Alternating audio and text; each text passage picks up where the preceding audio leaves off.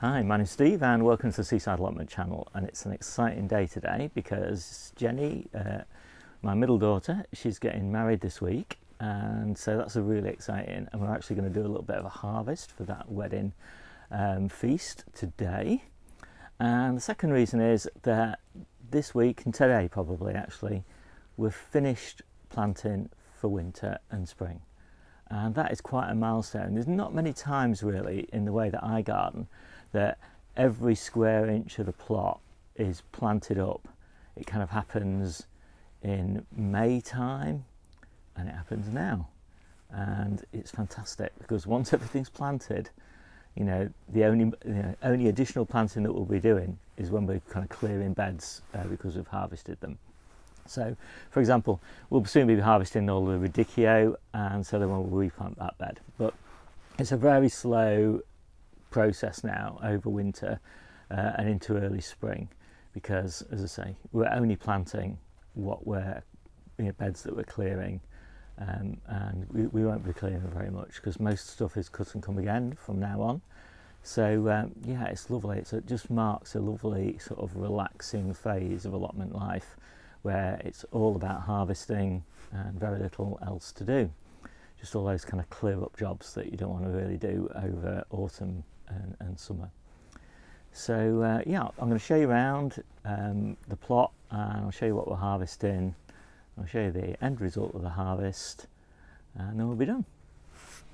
So we'll start with the polytunnel and growth is still going pretty well in the polytunnel at the moment. Uh, outside growth is pretty much slowed, um, which is not such a bad thing because we've got plenty in the ground, but Anyway, I'll show you what I've got in here. So I've got some uh, Fordhook chard, got a few spare little brassica plants, tub of winter carrots, obviously no sign of those yet, rocket, mixed brassicas with quite a few interplanted radishes in there, more mixed brassicas down here, more rocket, Roxy salad, uh, Roxy lettuce rather, um, Bijou lettuce, and Freckles lettuce. And then just along this bench, got all my spare lettuces.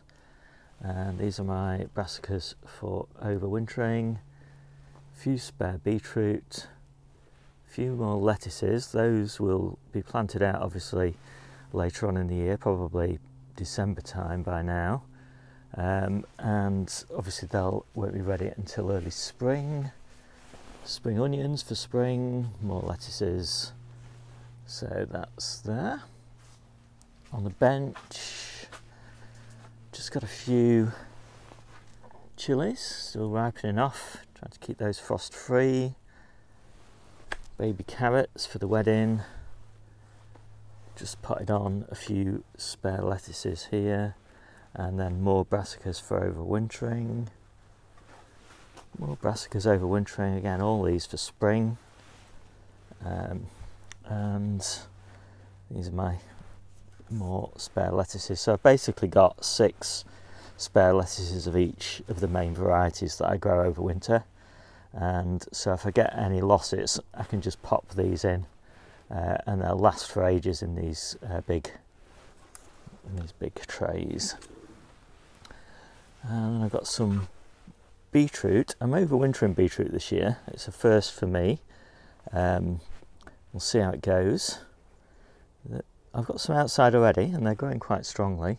Not sure, you know, whether they'll work, but who cares? It's got a little bit of space, so time to experiment and then Grenoble Red, and then an interesting uh, Grenoble Red there that's a bit unusual.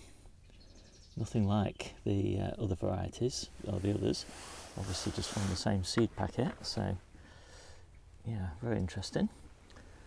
And I just popped in a few of these little red lettuces. I think these are bijou.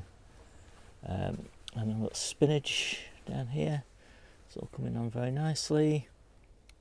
And then here, just temporarily, I've just moved these uh, oca from the outside just to keep them frost free as long as possible because oca puts on a lot of root growth, tuber growth rather, in the last few weeks of its life. So the longer you can keep it alive, uh, the better.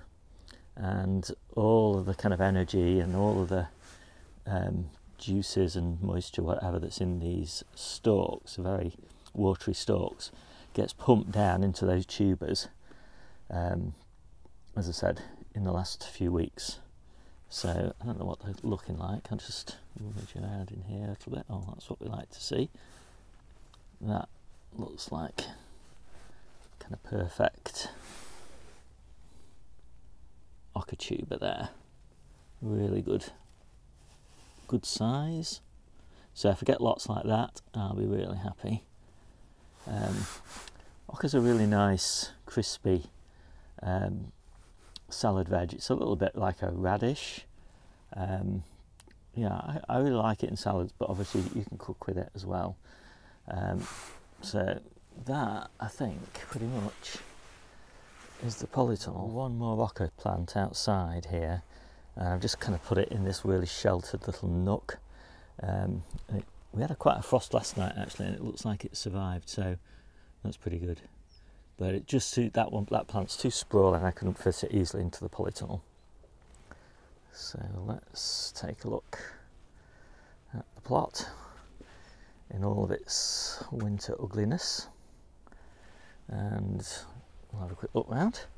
So some lovely lamb's lettuce here really coming on beautiful. And got some uh, spring cabbage. And basically, as I clear beds, I'm just starting to plant um, spring brassicas, um, especially the spring cabbage, popping that in. Um, and then later on next year, so early on next year, sort of February time, I'll start planting some of the other early stuff like calabrese and the like. So some lovely marvel of winter starting to form hearts. So uh, I'm pretty pleased with that. It's a really nice, hardy winter lettuce if you can keep it in good condition. Some of my favourite beds at the moment. Really beautiful mix of these spring onions, which are not far off being ready. And at this end, we've got uh, Freckles, and we've got Roxy. Uh, I'll just two more lovely beds of Grenoble red in this cold frame. Some nice little red cabbages. I always like to pop a red cabbage in when I've got a little bit of spare space because it's definitely one of our favourites. And these are calabrese. Obviously, we've harvested the heads, but we are hoping to get some side shoots off them. There are some starting to form. So uh, we'll give it a go. We're not desperate for the bed, so might as well leave a lovely bed of uh, watermelon winter radish. And leaves are great. Um, never have that much success with the actual radishes. I don't know exactly why. Maybe I plant them a bit too late but uh, I actually plant them mainly for the leaves because they're really good uh, brassica leaf, nice and tender for smoothie mixes. And then in here, we've got loads and loads of spring onions in here uh, and just a few winter densities.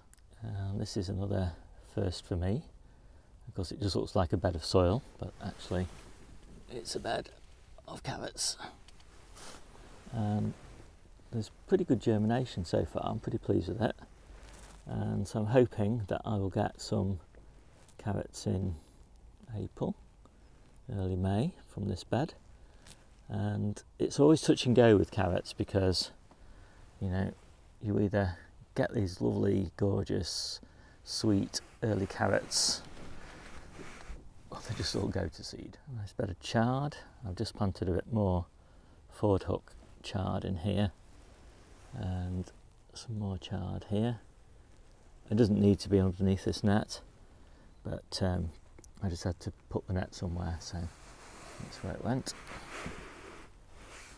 And the little greenhouse is full of overwintered brassicas. These are sprouts on the top and then cabbages along the bottom. And looking pretty good aren't they? So hoping for some lovely early veg there. And some lovely kohlrabi and some more Grenoble red.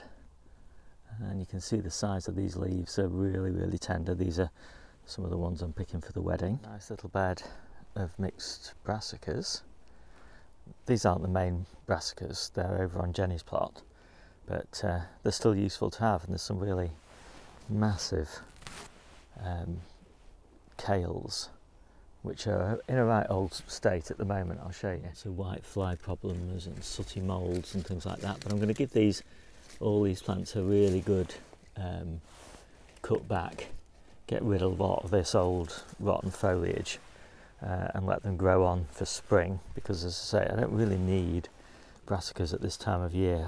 Well I do but I've got others. Um, these plants are for spring and I've got sprouts in here.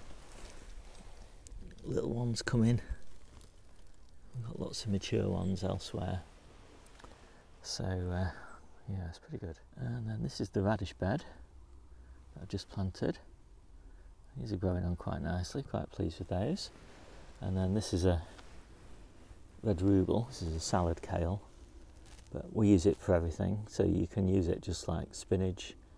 Um, it's good in smoothies, and the younger leaves are nice in salads. A nice bed of red kitten spinach. It's coming on pretty well. We might actually get a crop off this this year, but really it's intended for um, spring. We'll probably actually start cropping it late February if uh, last year was anything to go by. And then this is the main early onion bed. And we've got a Sturon in here which can be used as spring onions or left uh, to grow on as an early main crop. And then there we've got um, a couple of different overwintered onions, uh, Toughball, um, and Sturon. And we've got a few others as well, smaller beds, but um, yeah, I'm quite hopeful. These are growing quite strongly now. These, so uh, quite pleased with those. I should say we don't really grow a lot of um, onions over winter because we find that uh, they take up a lot of space for a long time and you only get them a few weeks earlier than your main crop onions planted in February. So, you know, you could, and we do, get a lot of food out of the beds from October through to February, uh, and so it's kind of a bit of a waste to put too many in. Um, so this is about all we'll need really uh, to get us through uh, that period from probably you know, late May through to uh, early July. Uh, most of our beetroot are in store now, but we just leave a few, um, um, especially like little beds like this one, uh, and then we just pick these uh, fresh uh, up until, um, well, probably about the end of the year, uh, and then we switch on to the stuff that's in store. And then we've got two radicchio beds. They've got uh, quite a lot of growing still to go, although um, they do start to rot if you leave them too long. So I might have to start uh, harvesting some of the bigger ones fairly soon. In fact, I might pick the biggest one today. So another bed of lettuces. This one's Navara, it's one of my favourites, but uh, not really at this time of year. Um, so we've been enjoying this uh, well, we will enjoy it all the way through autumn, but come winter, really, it doesn't really grow very fast, and the leaf quality isn't that great. But then, if you can keep them alive, then they're amazing in early spring. So uh, it's definitely worth a try. Uh, we've got more spring onions and more Grenoble reds. You can kind of tell Grenoble red is my favourite. And then I've just planted this bed of uh, beetroot to overwinter, and the little seedlings looking really healthy. So I'm really pleased with those. They're quite leggy little plants when I put them in, but planted them quite deep. They look lovely now. And then we've got a bit of a straggly bed of spinach. Again, that's late February, March time. Just won't believe the difference. Overwintering spinach is definitely worthwhile because you get such strong plants uh, so early in the season. And then we're almost done. Lovely bed of strawberries. These are ever-bearing strawberry. You don't cut them back. You just take some of the dead leaves off later on. And then this is the last bed really on my plot. This is these are field beans. And as I'm always telling people, you harvest these by pinching the tips out. You just pinch that out like that. You can take that leaf. Just harvest that. And that's a nice spinach substitute. And as you can see, I've got a reasonable crop of that on my plot. You're really growing this for um, what's going on under the soil. So deep down in there, there's little, well, trillions of bacteria forming little nodules full of nitrogen on the roots. And so long as you don't let these field beans um, actually grow beans, then those nodules will be full of nitrogen when you harvest the tops, you leave the roots in, and this will be next year's brassica bed. And got some late sprouts, not doing too badly. And some lovely kales. Got a bit tackled up there. Then these are Romanesco cauliflowers. Starting to come on quite nicely. Probably harvesting those for Christmas. More kales, a few beetroot, carrots in here, still protecting those, and then spring cabbages all the way down here. And that's me done. So there you go, that's the overview of my plot. And I think I'll do separate videos actually for uh, the uh, for Debbie's plot and Jennie's plot and the back garden. My oh my um, new IBCs are now full of water. We've had so much rain. I can hardly believe it really. We've had enough rain to keep everything watered, even though it's all undercover, um, and to fill these IBC tanks. It's just been crazy. So here's the start of our mini harvest. We've got absolutely gorgeous sprout top. And if you've never tried sprout tops, they're just the most fantastic brassica leaf. Some lovely sprouts, giant ones and little ones. Kalettes, my absolute favourite, apart from sprout tops of the brassica family. Absolutely lovely. Um, Calabrese side shoots, looking good. Some really nice kale, Cavolo Nero and curly kale. Some lovely golden beetroot. Quite a nice selection of carrots. A little um, radicchio head, just to provide a bit of colour to the salad mix. And a lovely tender little red cabbage as well for uh, cooking and half of it can go in the salad mix as well. Gorgeous chard and field bean tops, just like broad bean tops. So now I'm starting to make up the salad mixes. I need 10 of these in total, so that's the first one of Navara, and two of Roxy, and two of Freckles, and then we've got one Marvel of Winter for anybody who wants a lettuce that looks like it came from the supermarket and some lovely red bijou. And then we've got four containers of Grenoble red, and we've got salad sprinkles, some lovely French breakfast radish, and some baby carrots, and some salad rocket, And then back home, I've got a few cucumbers. Um, and then obviously, unfortunately, we've got to buy tomatoes because we've got no more tomatoes left. Um, but then that's pretty much it. So I hope you like this little video and I'll see you soon.